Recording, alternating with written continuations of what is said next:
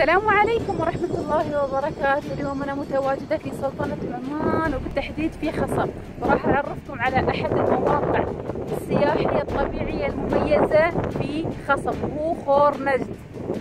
شوفوا المنظر اللي خلفي هذا هو خور نجد. هذا أحد المواقع السياحية المميزة في خصر